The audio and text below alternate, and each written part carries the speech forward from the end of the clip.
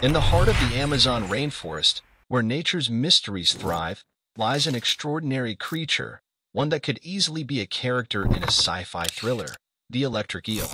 Imagine a world where living organisms harness the power of electricity, and you're about to embark on an adventure to discover the secrets of this electrifying protagonist while seeking answers for the most asked questions about it. Welcome to another episode of the Jurassic Depths, where we unlock the gates to a realm forgotten by time itself.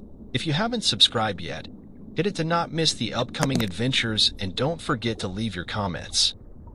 Our story begins with a shimmering river, where the murky waters conceal a creature unlike any other. Meet the electric eel, an enigmatic fish that defies convention.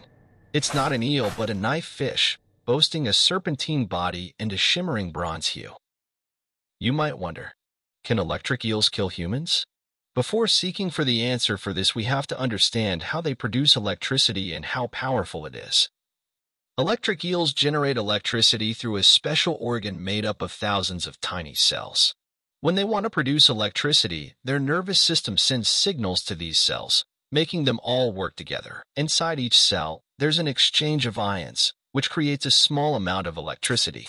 But because there are so many cells stacked together, all the small amounts of electricity add up to create shocks of up to 600 volts or more.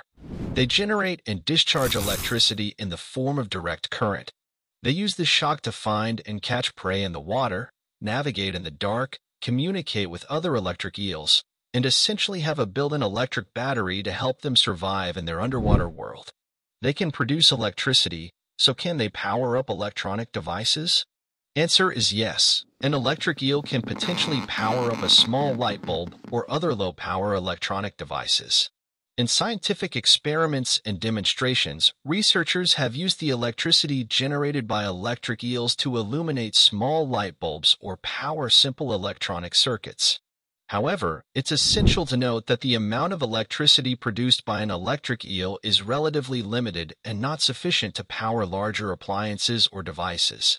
While electric eels have a degree of control over their electric discharges, it's important to note that this control isn't as precise as making a conscious decision to switch their electricity on or off. Instead, their nervous system and specialized cells in their electric organ work together to regulate the intensity and frequency of their electric discharges based on their needs and circumstances. Sometimes, while using their electric radar, electric eels may inadvertently shock themselves.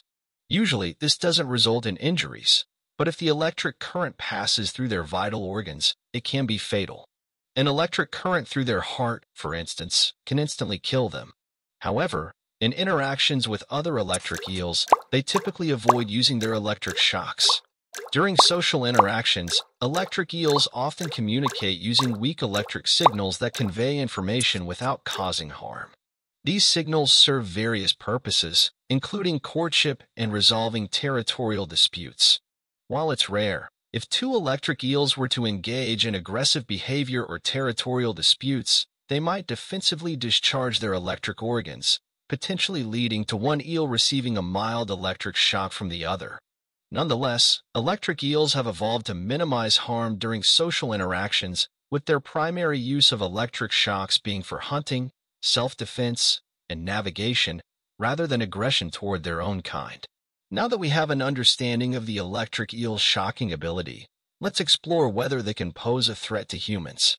Electric eels indeed have the potential to generate electric shock strong enough to harm or even kill a human. However, it's important to note that they are not typically aggressive towards humans and do not actively seek to attack. In the event of a human coming into contact with a large electric eel or disturbing it, the eel could deliver a powerful electric shock. This shock might result in injury or, in rare cases, be fatal. Despite their fearsome abilities, electric eels are generally considered relatively harmless to humans. While a shock from one might not be lethal, it can certainly be a shocking experience. In the Amazon, fishermen have devised creative methods to catch electric eels without getting zapped. It's worth mentioning that electric eels are occasionally consumed as food in certain regions of South America, particularly in the Amazon. However, their flesh contains toxic compounds, such as urea and trimethylamine oxide, which can be harmful if not prepared correctly. To make it safe for consumption, the meat is typically fermented and aged, similar to the traditional Icelandic dish we discussed in a previous video. While it is consumed, electric eel meat is not widely popular or readily available, and precautions must be taken when preparing and consuming it. Intriguingly, electric eels possess a dual nature.